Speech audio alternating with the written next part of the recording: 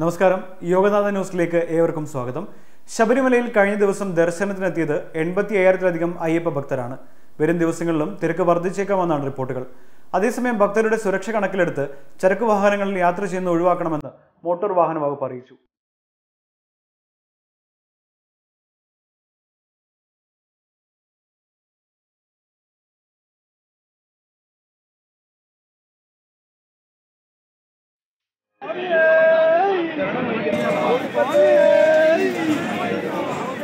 അയ്യപ്പ ക്ഷേത്രങ്ങളിൽ ശനിയാഴ്ച ദർശനത്തിന് പ്രാധാന്യമുള്ളതിനാലാണ് തിരക്കേറിയത്.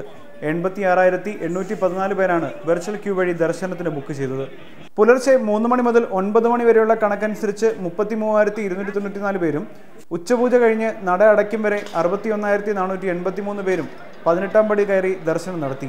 രാത്രി പതിനൊന്ന് മണിക്ക് ശേഷം ഇരുപതിനായിരത്തിലധികം തീർത്ഥാടകരാണ് ദിവസേന സന്നിധാനത്ത് വിരിവെച്ച് വിശ്രമിക്കുന്നത്. വരും ദിവസങ്ങളിൽ ഭക്തജനത്തിരക്ക് വർദ്ധിക്കുമെന്നാണ് റിപ്പോർട്ടുകൾ. ബുക്ക് ചെയ്ത സമയത്ത് തന്നെ ഭക്തർ എത്തുന്നത് തിരക്ക് കുറയ്ക്കാൻ സഹായിക്കുമെന്ന് അധികൃതർ അറിയിച്ചു.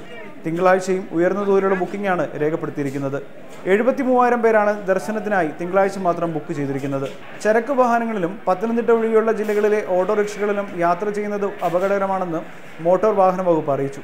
പെർമിറ്റ് ലംഘനമായതിനാൽ ഇത് കുറ്റകരമാകും. ഇരുചക്ര വാഹനങ്ങളിലെ യാത്രയും പരമാവധി ഒഴിവാക്കണമെന്ന് മോട്ടോർ വാഹന വകുപ്പ് അറിയിച്ചു. ഉറക്കമൊഴിച്ചും ക്ഷീണാവസ്ഥയിലും യാത്രകൾ ചെയ്യുന്നത് അപകടമുണ്ടാക്കും. സ്വകാര്യ വാഹനങ്ങൾ ഒഴിവാക്കി പൊതുഗതാഗതം ഉപയോഗിക്കാൻ ഭക്തർ ശ്രമിക്കണമെന്ന് മോട്ടോർ വാഹന വകുപ്പ് അറിയിച്ചു. തീർത്ഥാടകരുടെ വാഹനയാത്ര സുഖകരമാക്കാൻ മോട്ടോർ വകുപ്പിന്റെ സേഫ് സോൺ ഇരുപത്തിനാല് മണിക്കൂറും പ്രവർത്തിക്കുന്നുണ്ട്. യോഗനാഥൻ ന്യൂസ് സന്നിധാനം.